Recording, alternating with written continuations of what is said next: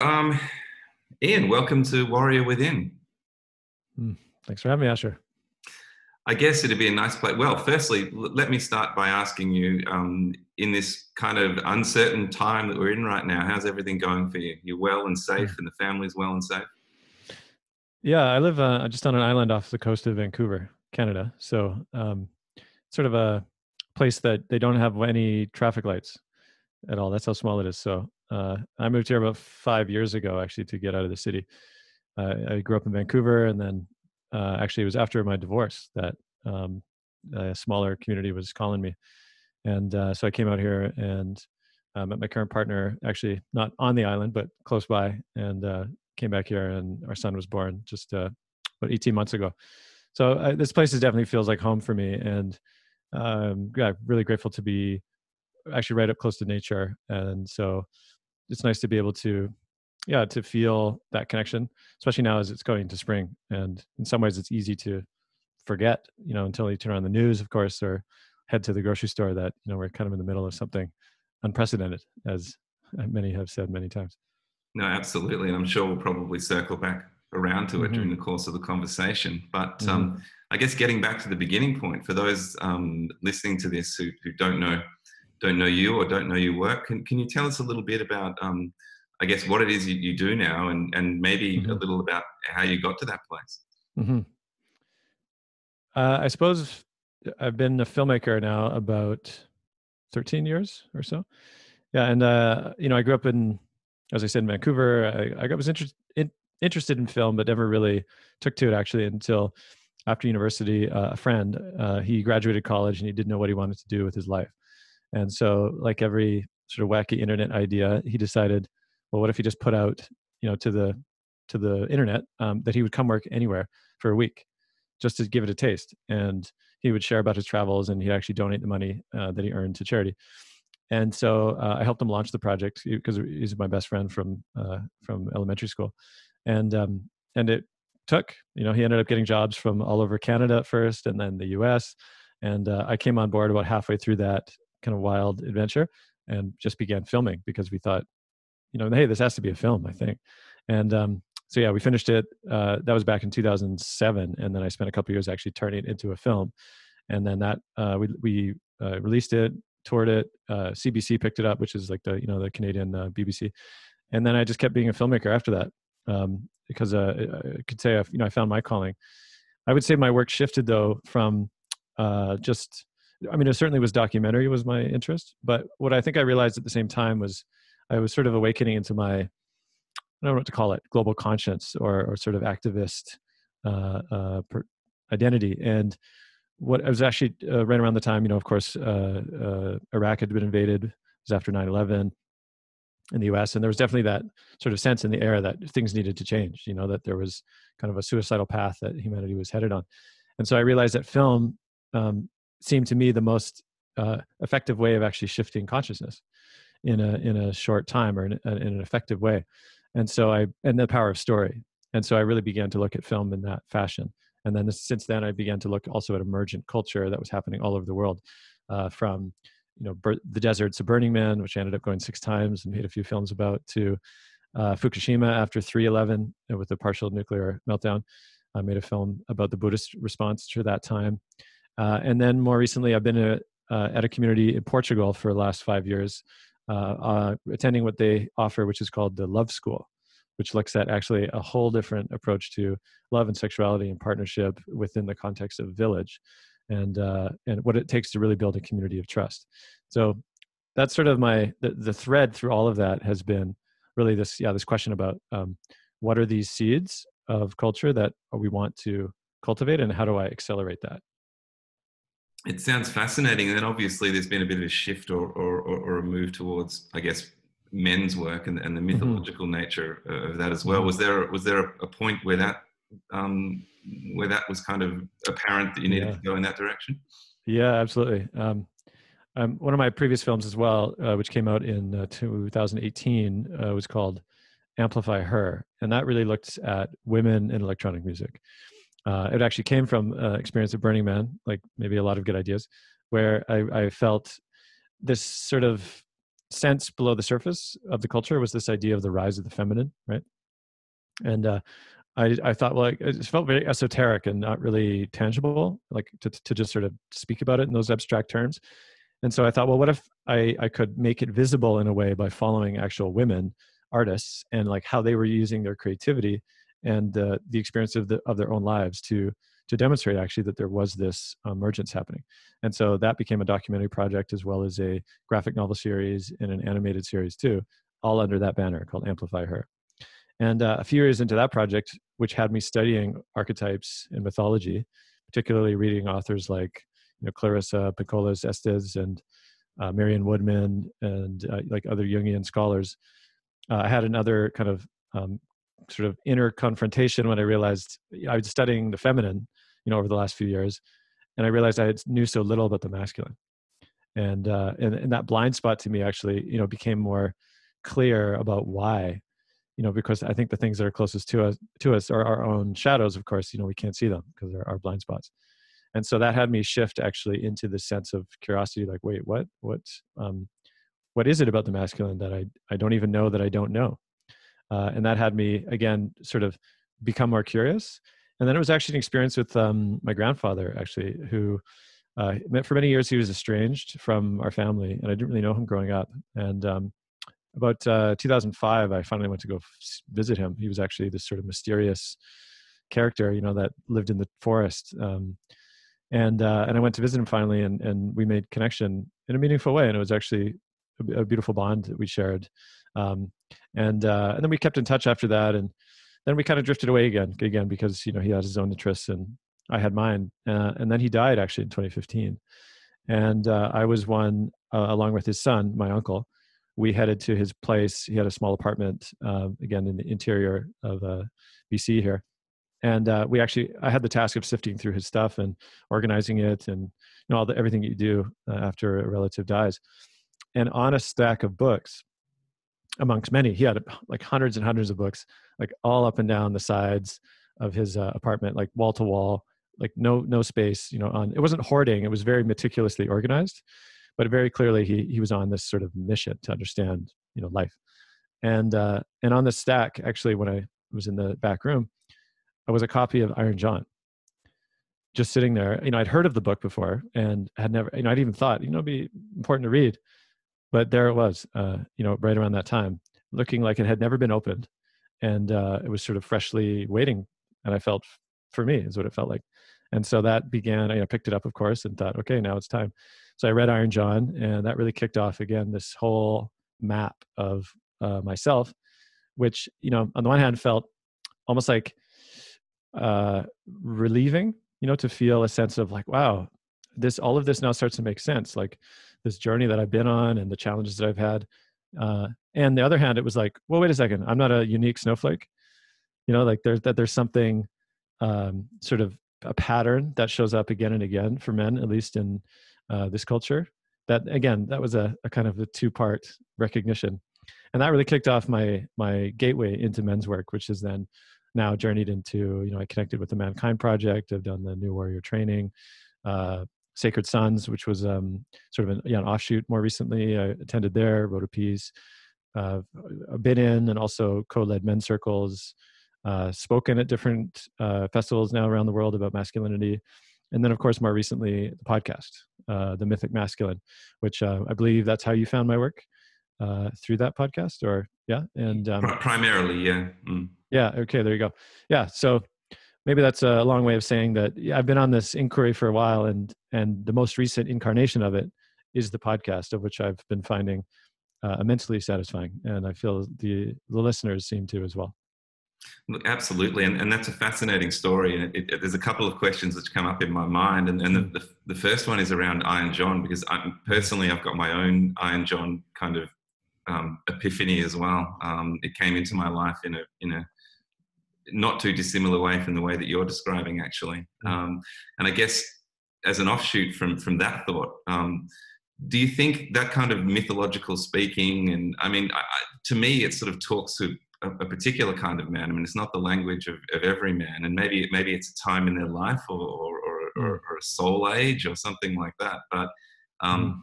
I guess for some men, they pick that up and it, it, doesn't make sense. And perhaps they read it a decade later and it does. It's kind of one of those mm. books. Mm. Yeah, it's actually interesting you say that because um, uh, recently, I guess a few months ago now, last fall, I co led a men's group here uh, in my community.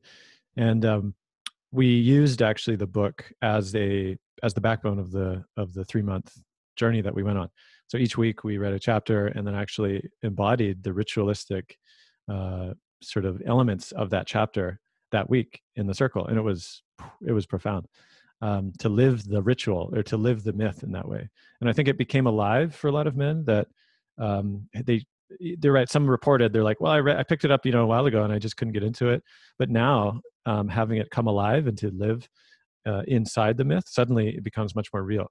And so, I do feel for some men uh, that they need a kind of I don't know mythological invitation to begin to see the relevancy in a way, you know, or the, to see mythically, which is not a skill that is taught in this culture at all. In fact, um, I would say it's it's a sort of a very literal, you know, culture. And there's, um, I think it was Bly who talks about, you know, there's such a there's a whole range of both experience and meaning making that comes from, uh, you know, resurrecting the mythic imagination that is utterly lost on this culture because um, otherwise it just collapses into sort of fact or, or literate literateness and and again it's um i think a lot of men ultimately are actually unsatisfied with that but they don't actually know there's a, uh, other ways of seeing I think that's true, and, and and one of the areas I wanted to discuss with you was which was this idea of you know how do we reach men these days? Because I think that we get broadly speaking, there's a, different categories of men that perhaps would come to something like our group, the Warrior Within. Mm. There's men who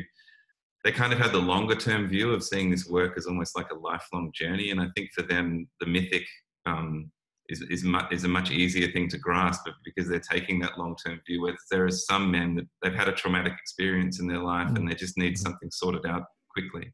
Um, and, and for them, perhaps it, it's not quite the right path um, and in that moment. Um, yeah and so for me, I look at all this men's work which is out there, and things like Sacred Sons and all this other stuff, and I wonder whether um, um, it's right for everybody, um, and and mm-hmm. how we sort of put our arms around all men in terms of where they are in, in the you know quote unquote journey. Um, right now, for example, you know, in the midst of, of the coronavirus, there's there's men that that, that need immediate help. Um, mm-hmm and obviously you know there's helplines and things like that which can take care of short-term trauma but you know maybe getting them involved in the mythical at that point in their life is is inappropriate mm. huh yeah it's interesting you know i mean i'd say that i see all of this work within a, a wider context uh, which i would say is the crater of the loss of village you know that's how i'd say it. and so in some I, I don't I don't know. Well, some some men's groups and and group and or men's orgs do teach that understanding. I think. I mean, Mankind Project, of course, I think has been one of the largest, uh, broadest organizations that that I feel maybe skirts this understanding, um, because it is about coming, re, you know, rebuilding a culture of men that is, um, you know, authentic and and integral in the rest, and also uh, sometimes it can circle to bit to sort of self centric, you know, and self focused. Mm.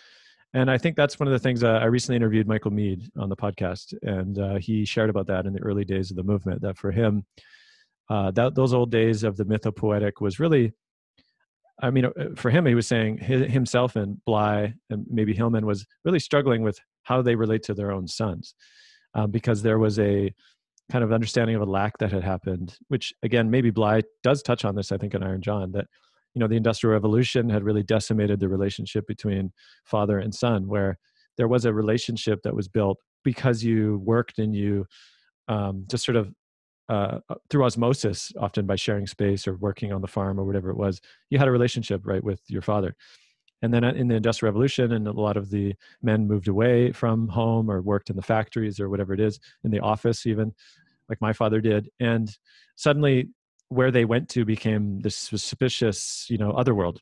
And uh, there's a great line Bly talks about it. He says that the sons received uh, the temperament, but not the content, or something like that. Yeah, the, the temperance, the, the temperance, not the teaching. Yeah, exactly. Yeah, so there's this great loss, right? And so I feel like for a lot of men, you know, there's a there's a broader father hunger that that just runs so deep, and um, you know, maybe even touching on. Uh, I'm not sure how popular people like say Jordan Peterson is down in yeah in the in Australia, but um, those who don't know, he's a Canadian professor. You know, he's risen to some prominence, and often he's popular with younger men. Um, and I, I also think because he constellates the archetypal father, actually, which a lot of men are so hungry for. Because eh, whether or not their father was present there is like a father energy which is a sort of mature masculineness that again is part of the missingness. And that's a consequence as well of again not having these sort of natural ways of gathering as men. Uh, and so in many ways men's orgs and groups that are trying to i don't know provide something that's healing and, and can can create a vessel for soul work i know is important and for me it's always about also holding up the sense of well the, the consequence though is here because of we don't have village anymore mm. you know uh, so yeah or you want to speak to that well i, I was just going to say i think that's that's beautifully put i think that's terrific i think um i think some of the, language um, may get lost on some men though um, and i think they're looking uh-huh. for something you know and sort of yeah. Maybe there's a way of contemporizing that somehow. Like I look at, for example, um, the mission statement of something like Sacred Sons, and I know that there's probably a lot of men that are actually craving that, but. Uh-huh. In, but in the words that they read, it's probably you know, and I hate to use the word spiritual because it can be so misinterpreted. But there's something yeah. there around you know talking about alchemy and, and this stuff, which may actually end up making them yeah. think that it's actually not not for them when it truly yeah. is. Yeah, yeah, yeah, yeah. I mean, that's the problem with um, again a kind of a I don't want to call it like a, a tri- well a tribal language, right? Really, which for those that fit that or don't fit that, they'll feel you know invited or not. And certainly, it's difficult to craft anything that's universal because you know I think that's part of the sort of um, it, it, sounds like a good idea, you know, to kind of let's create a universal men's movement or something, right? But it, what that means is it becomes homogenous and uh, it you know it inevitably becomes like a franchise where it has to create the sameness in order to expand. Whereas of course like a, a deep indigenous relationship to place means that it's specific. So whatever language or whatever ways that that particular group you know or peoples create or, or uh, an act right is is faithful to that place. So again it's not not so much about um, universalizing uh, but yet we have we live in a modern culture where again a lot of people have the same experience as sort of modern disconnected fragmented men that yeah there's there's a lot of longing for connection um, and maybe a lot of men who don't even know that that's what they're longing for you know like 100. that's that yeah and that's what happened to me as well like i didn't know until i sat for the first time actually uh, in portugal it was at this uh, village village called Tamera where i sat in an intergenerational men's circle as part of their love school and for the first time it was actually really I, I fully can track the experience which was on the one hand i recognized first it was uncomfortable, right? Like, oh, uh, actually, this is a really funny story. Um, first time I began speaking about men's work was Australia. It was actually my second time there when I was on tour with my film, and uh, I think it was at maybe Earth Frequency, uh, one of the festivals out there. And I remember talking to the men. Uh, it was it was a mixed group, men and women. And I said, uh, I asked, uh, how many women here currently meet in women's circle with some regularity? And I think it was maybe 80% of the women put up their hands. And then I said, How many men meet with some regularity in men's circle? Zero. Uh, and not only that, this uh, fellow in the front row, um, he felt, I think he might have been his maybe late 50s. he goes, What would we talk about? and it was uh, it was such a genuine curiosity mixed with the kind of like you could hear the indictment a little bit like men men don't talk about anything interesting um, which is so much the the current culture for those who haven't entered into those spaces right? It's this fear of a kind of maybe confrontive energy mixed with uh, maybe an unconscious fear of vulnerability right? And yet when i was first in my space with um, an inter- particularly intergenerational that was really profound to me. What i recognized was uh, that one a whole piece of me which i didn't even realize was always on when there was women present relaxed yeah a whole, a whole like program running which is always jostling for some kind of position with women. You know it didn't matter if it was erotic or not or whatever it was just the presence of a woman cre- like the program was activated. And when i was with men it wasn't. And suddenly I, i've experienced its deep sense of rest that was just profound that i could just just rest, right? And there was I could one way I might say it is because the men there were holding the masculine, I could relax the masculine for my, in myself. I could put down the I always got to be holding the masculine pillar. I could put that down for a second and rest in the wider field of masculinity. And that was such a profound place of of just soul rest, you know, that I, I felt such gratitude. And then a kind of kinship developed with the other men. I was like, oh wow, you're not weird and scary and others, you know, you're so different than me. It's like we have so many of the same experiences. And suddenly um I, I like a switch happened and I actually resisted going back into a mixed space with women. Like I was suddenly like, oh, this is so great. I don't want to go back in a, a space with women and get it back into that program, you know, all that stuff. And of course we did and continued. But yeah, it was a profound recognition for me. And I think so many men want that, but until they experience it, they actually don't know what they're missing. Beautifully summed up. I mean, I resonate so deeply with with so mm-hmm. much of what you just said, and and I hear that in feedback all the time from the guys that come and sit in the circle and, and Warrior Within. It's like I actually didn't understand how much I craved just bringing around my brothers. Um, and I'm interested in that chap that, that said, you know, what would we talk about? Because, um, yeah. you know, I, I first experienced um, being with just men when I, in my time in Africa um, with, with the with the um, Samburu um, in northern Kenya, and uh, the first men's circle that I sat in with them, there was obviously a massive language barrier anyway, but you know, hours went by without anybody saying anything. Um, and you, you with a group of different ages of men, you know, from from late teenagers all the way up to to, to you know, very old guys, and um, it was absolutely profound without a word being spoken. And so, so what will we talk about? Well, perhaps you don't yeah. even need to. Good point. Yeah. Yeah. Yeah.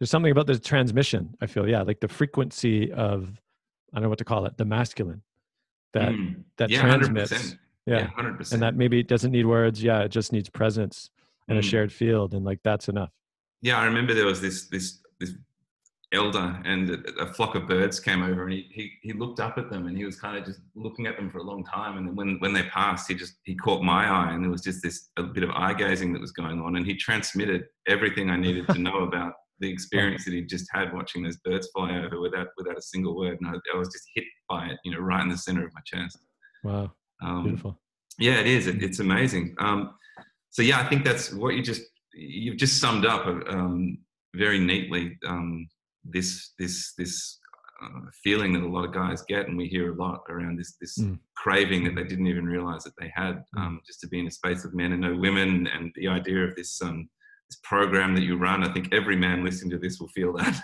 mm-hmm. Yeah, I'd love actually to add a bit too on uh, just, and again, this applies uh, certainly to heterosexual relationships, but likely also those that have male partners and lovers. But there's something in the mixed relating field that, especially in relationships like like say partnerships, though, where the the way that our social society is structured, when we don't have these other spaces to polarize, to consciously polarize, like the women be with the women, the men be with men, and maybe those of two spirit and non binary. Again, that's an emerging conversation for a space for them and the medicine they carry. But there's something about the polarization which um, almost like disentangles all of the expectation of what one is supposed to be giving to the other you know and it's there's something to be said that um, like a lot of men often bear the weight of uh, trying to be everything, of course, that the their say female partner wants them to be, um, unconsciously though, like as in because the women often don't have the space for women to to be in that field, they can often look to the woman or sorry, look to the man to fulfill all those needs that actually are better served coming from women right? And and the guys can feel like oh like i'm failing or why does she want to talk to me all the time? or you know whatever it is. And and i, I deal with that a lot in previous relationships too where i was like i don't know i don't have it. Like i don't have the thing that i think you want but you keep asking me for it.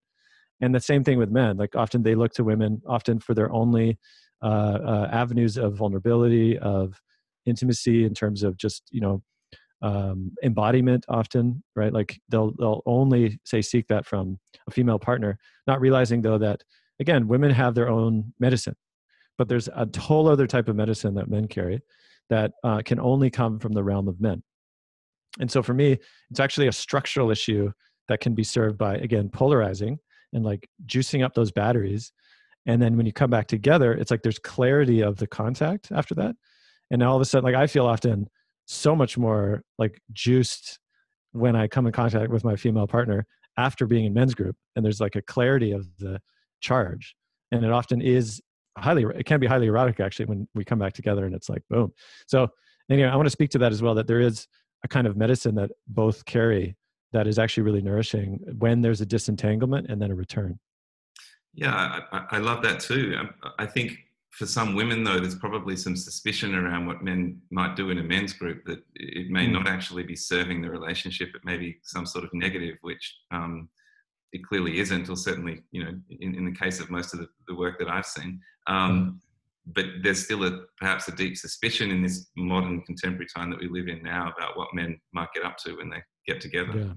Yeah, yeah. I mean, I could speak archetypally for a second if uh, mm. I was seeing with this lens, but often what happens is, um, particularly in relationships where, again, the, the unconscious mythic layer isn't isn't known, is oftentimes there's a uh, two kinds of constellations that happen. Uh, one is the father daughter dynamic, and the other is the mother son. Uh, and by that meaning that a lot of women will often become unconscious mothers to the men, right, who seek a kind of unconscious mothering from the woman. Uh, and vice versa, where the the women will seek this fathering from unconsciously from the man. And what happens though is it keeps a kind of adolescent um, uh, unconscious layer going, which uh, for women often who are constellating the mother, though, they do have a fear that the man would actually seek intimacy elsewhere. Mm. Like, as in, that can happen where the woman actually feels a sense of, um, I don't know, a kind of unconscious control of the man, right? Because if if they're looking to her for a lot of, again, intimacy and and that kind of place of rest and all that, so there is a fear sometimes of, oh, will I lose him actually if if I'm not the center of the universe, you know what I mean, as the unconscious mother. And oftentimes that can happen with uh, the men as well, for women to go to women's groups and the guys feel, oh, wait, well, I'm not the center of the universe anymore. Because uh, it takes an inner maturity actually to recognize, like, oh, I'm glad they're not looking to me for that unconscious medicine, you know, and I trust that if they go to those places in the polarized uh, settings, that they can come back more full and more mature and we can truly meet as peers and no longer as these unconscious uh, you know parental archetypes. Yeah i think that's important important to state. I really do. Um, mm, mm-hmm. I guess it leads me on to this discussion a little bit of masculine feminine in, in, in general um, and, mm-hmm. and, what i've noticed and i also noticed it in your conversation with, with michael meade um, when mm-hmm. i listened to that just on the weekend actually but um, uh-huh. uh, it, it, feels to me like a lot of um, men of prominence in this men's work actually began studying the feminine before they moved to the masculine. I mean, he said it. He said it of yourself. Uh-huh. Um, I believe it's true of Michael Meade. It's certainly true of Robert Bly. Um, do you think there's a need to actually that that's the trajectory to understand the feminine first? Mm. You know, it's interesting. I see that as the consequence, though, of what I was saying earlier. That that the the kind of mature father, the mature culture of men, is largely absent. Uh, at least in again in modern most modern cultures so so in some sense it makes it makes sense that the feminine would be explored first right because um, as i said there's also this rise of the feminine um, coming back into a proper relationship you know to the i would say the unconscious masculine or the you know the tyrant uh, patriarchy and so again so it makes sense that that would be present especially for men often that are willing to make that journey you know like for me we talk about this in episode uh, six, I believe, with uh, Eamon Armstrong. The boy hero must die, where what it talks about is, um, you know, a lot of men who grow up as boys, you know, the adolescent um, or the boy archetype of the hero is a very natural kind of noble uh, way of actually, you know, wanting to help, you know, and wanting to save. And we see that actually, of course, in a lot of superhero movies, you know, today, which is again this this elevation of the hero Mm. Uh, but what, ha- yeah, but what happens is the hero is actually in rising to save the mother, and I think Bly might have talked about this too. But really try to save the mother from the pain of, you know, the world really, and the the tragedy of that is that the boy cannot do that. Like he just he you know he can't save the mother obviously. There's just much bigger forces out there and her, she's got her own journey. But the boy who truly wants to alleviate her pain you know feels that. Um, and then there's something about being defeated and recognizing that the defeat is not personal that it's actually you know it's an impossible uh, quest that that is the gateway into actually relationships with other men. As as i called it like the the league of failed heroes you hmm. know is really where where brotherhood begins. And so um i see that again as the natural outgrowing of course as men who who begin with the feminine is the center of the universe right? Like that is natural because as a child um you know i see it with my son now who's 18 months like i'd say you know mom's everything still you know? And i'm you know i'm a I, i'm appreciated i think but by and large you know when he's upset or when he wakes up from a nap or whatever it is it's like yo where's mom? I, mom i need mom now. So again it's natural that the orientation of a boy is to the feminine. And then like bly talks about too in initiatory cultures there's a time when the older men will come for the boy and consciously sever that relationship to the mother as like the central figure. And what they do is then they kind of re um, orient the boy to one a mature relationship with the men. And for me that's like the start of that understanding of oh wow there's a whole other cosmology of, of masculinity and, and the realms of man which now the boy is entered into. Uh, and because in this culture largely we don't practice that anymore that severance never happens right? Like boys grow up to be men and again like i said unconsciously project the mother onto their partners. And i would say patriarchy as a whole is one big unconscious mother wound that's one way to think about it. Again it's this idea of, of trying to dominate the feminine right out of a, a kind of a, a inferiority complex because the feminine is that so much vaster and so much more powerful as we're finding even with covid right now of course. You know that uh, any idea that we had that we were in control of nature is very easily you know and sort of again tragically uh, proven otherwise. And so we're contending now i mean individually and as a species of course with whoa how do we kind of come back to the right orientation uh, to life as well?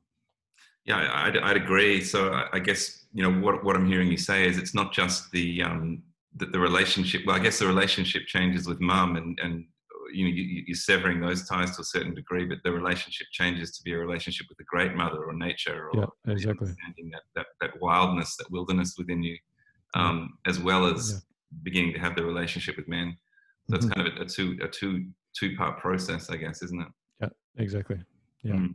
yeah and then yeah and just to say too last thing on the other side of that though is the reapproach i believe to the mother from a mature place mm. uh, where again it's not about everything she was or, or should be or shouldn't be but you actually are able to see her as a woman as a as a woman who you know is a woman um uh, she was your mother is your mother and also a woman who you know was a being before she was your mother you know like that that's a really kind of mature um, beautiful way of actually reapproaching and saying you know again as the child you're also not the center of the universe you know to that to the mother that she is a very uh, unique being unto herself as well Absolutely. And I guess it, it probably leads me on. Uh, Michael, and I've heard others too, were talking about this idea of masculine and, and feminine almost being too reductionist for them. Mm, um, mm-hmm. And I was wondering, um, is it, do you share that feeling? You know, it's always challenging because I would say, I certainly, there's a certain, I don't know what to call it, like a um, politically correct uh, way that, that these these terms are being challenged you know often because they do come across as gendered and then then become prescriptive um, and now all of a sudden you know men are supposed to be this way and women are supposed to be this way. And there's a certain i think um, thread of radical feminism which does believe that all gender is oppressive and ultimately it feels like that you know it should be whatever you feel like and that's the ultimate triumph and then I look to indigenous cultures that seem to, again, have a very different understanding about what gender is. Um, not to say that there isn't challenges, you know, within the cultures of um, domestic abuse and all that, for sure, like those those exist. But in ter- especially in ceremony, there seems to be a relationship to the genders, which isn't one that is a gender is not a problem to solve, right? Like that's one way I think I've come to understand it. That that it's a question of roles. Like what is the role of the men like in the ceremony what is the role of the women what is the role of two spirit let's say um, and everybody finds their place in this constellation to serve the ceremony whereas you know in a in a modern uh, uh, or sort of modernized or civilized understanding um, that it, it it's seen as a problem to solve right and so that's why you get this battle you know between them and for me it's really about coming to right relationship. And so from that context pat mccabe indigenous grandmother in episode seven i believe yeah she talks about this. You know she says that there is such a thing or you you know what if there was such a thing as um, sort of the medicine of the deep medicine of the masculine the mature masculine that is vital and necessary from, from a thriving life paradigm is what she calls it right? And um, very different than what we call the modern culture often which is a sort of dominant dominant or domineering paradigm um, and so I get, this is all i'm saying. I, you know whenever i approach these questions is it is it useful or is it not useful?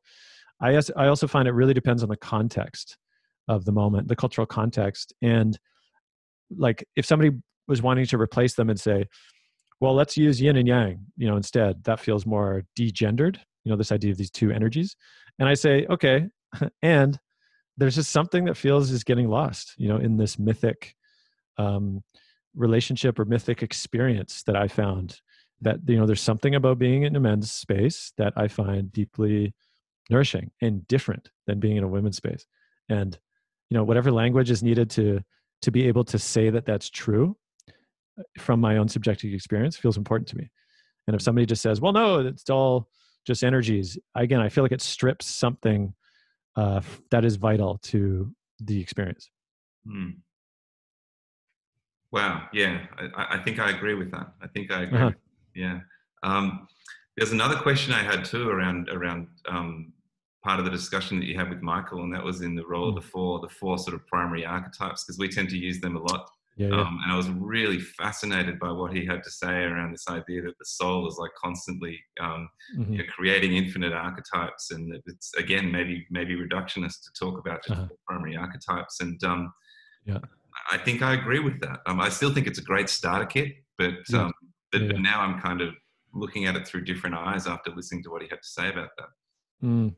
Yeah, me too. I was uh, I was appreciating how he was sort of blunt. I think with it, and I I mean I see in him too this kind of uh, alerting people to the danger of of codifying, right? Like I think that's what he spoke to, because suddenly if it's almost like if the map becomes the territory, then there's something lost. There's something now where we've sort of in the level of abstract, you know, um, uh, the way it is instead of constantly revisiting and saying, yeah, what does it mean to be a warrior now? Right? Is it was it the same as it was in the 80s? What does it mean to be a lover now? So I think if there's a way to continually return and like uh, excavate again and circle again, you know, these archetypes, I think they still can be valuable. But as soon as it's you know this box this box this box this box you know then i feel like again it becomes reductionist and and a bit dangerous too because it tends it, it can supplant the subjective um, inquiry that many men carry right? And and also an authentic sense of yeah like that you know i would say the warrior maybe back then in the 80s say yeah could have been really the warrior of the self like like really coming to um excavating you know one's own i don't know conditioning or trauma whatever that is you know and maybe that was enough for that era and now i would say that the clear call to the warrior is to be a warrior in service to life. Um, another another um, sort of language that I've heard around this is to defend the sacred, right? And of course, Standing Rock was a huge piece of that. And so for me, like, so for a warrior to only circle this idea of the self or to be good at business or you know whatever it is, like that kind of energy, that to me feels actually out of contact with the current moment. Whereas to be a warrior now is to really see that oh, life is asking for us to be warriors on her behalf you know and, and that can look like different things. So again what does lover mean now in this context you know? Does it mean i don't know the conquest of women you know or does it mean the deep intimate relation with uh, the world you know coming back into sensual contact with the world which is what martin shaw and i talked about recently last week which is on a forthcoming episode what charles eisenstein says you know the shift from uh, mother earth to lover earth.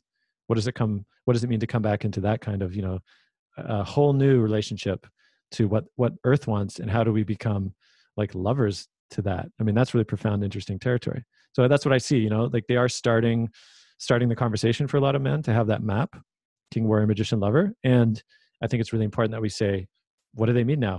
Like let's explore together.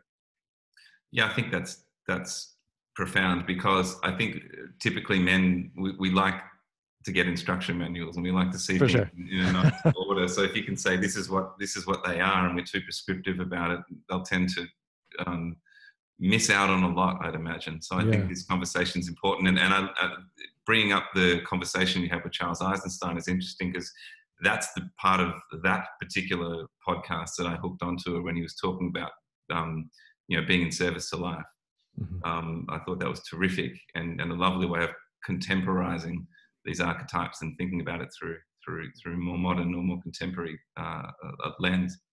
Yeah. Yeah. Yeah.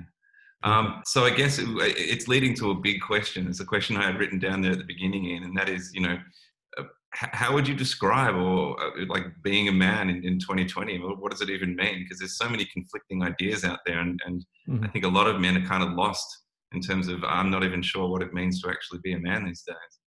Um, Mhm. what what's your take on all that? yeah yeah big question Yeah, very. I mean, yeah, I'd say the. I mean, it's a good question to to keep wondering. And for me, the podcast is again one level of me kind of wondering out loud with other men that I admire and you know appreciate their perspectives, um, because I do feel um, if any time that there's a, a kind of attempt to craft a universal, you know, prescription, that's the trouble we get into, right? And and I think a lot of the kind of challenges to toxic masculinity uh, or or ma- traditional masculinity or whatever that means is based on that understanding that there's a universal that was upheld to say a man means this and if you're not this you're a deviant or you're you know not manly or whatever it is. So yeah i'd say a lot of the uh, uh, kind of pillars of understanding now are dissolving for at least from a, a context that seemed to hold for a bit of a time.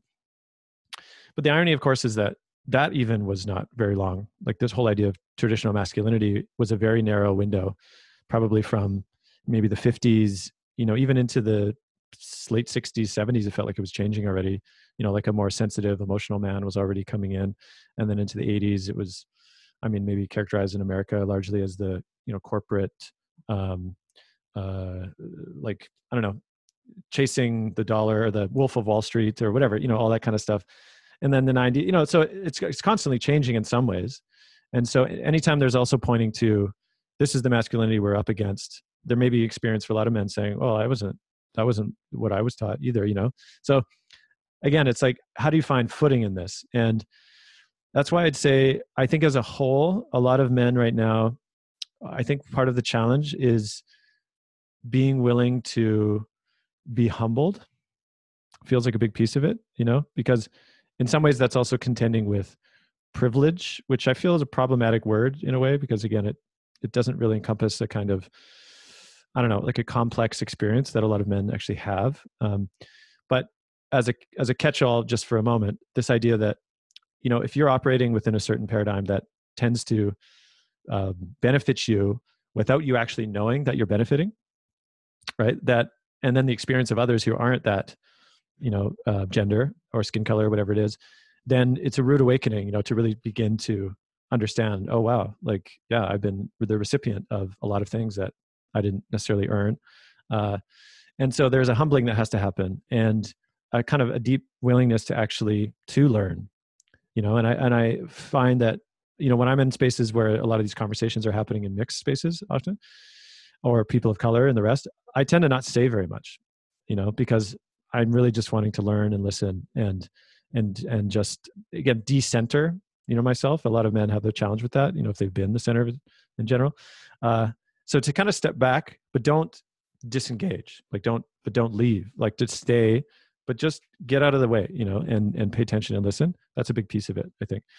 And to wonder about all of this with other men is actually vital because for me too again i don't i have a problem taking up more room in these other mixed spaces but i ha- i have a much easier time when i'm with other men and we can wonder about this together. You know i do feel that's the appropriate place to wonder about these things because i don't think there is a script but certainly there is a kinship that can be developed through the willingness to meet and to talk about and to learn and to read and to experience you know uh, that i feel is signaling a kind of I don't know. I, I would call it like a a cultural or generational willingness to actually kind of I don't know depersonalize in a way, you know, and and to actually begin to reach out. And there's experience I had with um, Sacred Sons actually, which you know I talk about in the essay. But we did some I would call it really actually somatic healing work, really, you know, which um, is um, I've had some experience with as well. That uh, what I what I I use this image that came to me in that time, which was you know a lot of the men there was facilitation there in the in the circle with these men but also the rest of the men in our little pod were also participants in actually creating like a healing uh, experience for all of the men that were present and i had this image actually and it felt almost like yeah like mythically that we, we had become one organism that you know that that the, the personal identity of each man actually dissolved into this larger cell of masculinity for that moment. And through the shared willingness for the men to support and serve each other and the man currently in the seat in the middle that healing was able to take place or at least push forward that healing.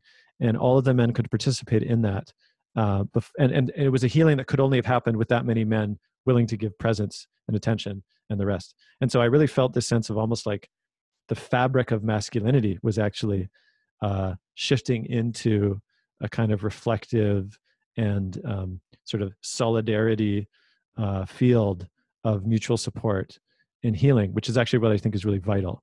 And again, it's all about being willing to, yeah, to step outside of our own, you know, a paradigm of of I'll do it alone. I'm the lone wolf. Like I don't need other men, and that that uh, I think kind of creates the cultural possibility actually of a much wider shift um, going on. That again, we need each other for. We can't heal alone.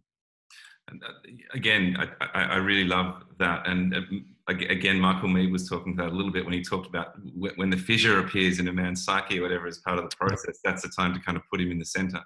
Um, yeah. Where exactly. everybody can do the work and, and uh, uh, sort of on, on his behalf. And the idea of, I never really thought of it about being kind of one organism, but it's a beautiful way of putting it. Yeah. Yeah. Yeah. And it was profound. I had, it was very clear to me, like that's what was happening, mm. you know, that we were all, we were all became this this intelligence that was greater than any one man. That's amazing. Did you share that with others, and did anybody come across that at the same same time? Was there? Well, I wrote it in the essay, so uh, yeah, check it out. Yeah, and I, I mean, I had a few men mention to me too that they they didn't have words for it, but that that helped them actually articulate right. what was true for them too. No, that's amazing. That's amazing. And um, I, yeah, I realize time is getting on, but there's one thing that. I wanted to, to to talk to you about, and that is obviously. Sure your connection to to our country, Australia. And um, mm-hmm. we are talking a little bit um, before we started recording um, that I guess part of your initiation, part of your rite of passage occurred um, during your journeys down under. So um, could you mm-hmm. speak to that for us? Sure. Yeah. Yeah. Um, so I, in 2000, uh, I had a high school sweetheart. I'd graduated high school at that point, and for different reasons, we ended up separating. And I kind of fell into the deepest heartbreak, you know, of my life at that point and um, I really wanted to get away as far away as I possibly could from Canada, and that just happened to be Australia. And so I saved up, you know, what I could throughout that summer, and then the fall. This was September uh, 2001, actually. Uh, that I headed to Australia for as you know, I tried. I thought a year. I was like, I give myself a year, and that experience really taught me a lot about one, wherever you go, there you are. You know, um, that I thought I could, you know, outrun my heartbreak and all the rest and suddenly no came with me. Um, and it was the, really was the the initiatory ground that i was furthest away from you know my family and friends and everybody who i'd ever known. Um, and i really it was a test in a way that i think many youth do this. They they craft unconscious initiations because the culture doesn't do it for them and sometimes it can be drugs and alcohol and all the rest often travel or extreme sports you know can be that so for me it was that i, I came down and ended up working in Sydney for four months, um, just sort of you know making odd jobs when I could. Uh, and then after New Year's that year, I hit the road and began traveling all over the country, and um, ultimately ended up in uh, Innisfail working on a banana farm uh, with some really interesting characters. Um, that uh, I, actually ended up writing a short story about my time there. Sort of uh, ended up being a kind of Stephen Kingish style, kind of a macabre story, but um, ended up uh, uh, not lasting very long. Actually, I mean, any banana pickers out there? Whoa, that is hard work. uh, carrying those big bundles, you know, 10 hours a day, whatever it was. Um, and so ultimately, I ended up sort of being defeated uh, in that my money ran out uh, about eight months and uh, ended up, you know, getting enough to get a flight back and, and got home. But I really felt a sense, one, of that initiatory experience, you know, of really just going out there as far as I could. And only after I got back, I had such a profound sort of n- not anything changing. Like that was my experience. You know, I got back, I was like, wow, I must be so different. Everybody else must be so different. Can't believe how uh, life must have changed. You know, and I got back and everybody's like, hey, how was it? You know, pretty good. Cool. and and it, and it was such a letdown, right? Because again, I see that I now know in the initiatory journey, the return, being welcomed back by the community, being recognized that you're different, is such a necessary ingredient in this. And nobody did it. Nobody knew how to do it. Nobody thought about doing it, right? Um, and so again, I said it was such a profound, I don't know, sadness that came after, and I didn't know why. And I think again, many people who do this go away, or men who do this, they come back and maybe have a similar experience. So in some ways it taught me again that that led me to lots of other experiences you know where i ended up meeting mentors and elders much later and began to sort of approach this cultural understanding of like oh yeah this is why i did this or this is why it felt this way. You know so some ways i needed to go through that to then recognize the absence of these things. But um, i definitely feel indebted to australia as being that that mythic deeply, deeply elemental ground you know where i first um, was able to kind of get away to the other world for me at least. And it was profound actually because i'll just finish this by saying i ended up speaking at a festival yeah back in 2016 when i came back. And uh, there was a youth there who was uh, australian um, who was at the festival and he'd seen me talk earlier in the day and we got to chatting and uh, he he said to me he's like oh um, yeah you you spoke earlier today. I was like yeah yeah. And he's like you know i just got back from canada uh, i was away you know because i wanted to get away as far as i could from my home, which was Australia. And uh, and he said, you know, and I got back and nothing's different. Hmm. You know, and I said to him, well, look, here's what should have happened. And I was able to tell him actually, this is probably why you did what you did and didn't know it, and this is what should have happened when you got back. And the recognition that he felt, I think, of being seen. By just by another, you know, slightly older man to just say, hey, you know, and to actually even even apologize and say, hey, I'm sorry, this should have happened for you. You should have been welcomed back, you know, by the elders in your community. You should have been seen as different because you achieved something, you know, important. And uh, there was something in that that felt healing. It like completed the loop, you know, for I couldn't, I didn't have that either, but I could be something of that to him. And the last thing to say maybe is that Martin Shaw has this great phrase, phrase when he says, uh, if you haven't been fed, become bread. I, maybe I maybe I was a little bread then for that kid. I, I love that. I, I, I really love that. Um, mm. I can't think of a better place to end it in. So mm. um, with, with, that little gem, so thank you. But um, I, I, will just say, you know, uh, the men within uh, Warrior Within, we're, we're, we're, big supporters of your work. Mm. And, and I promote it as much as I can because I think it's it's highly insightful and, and, and exactly aligns with um, where we're at and, and what we're trying to achieve. So um, I mm. just want to thank you for what you do.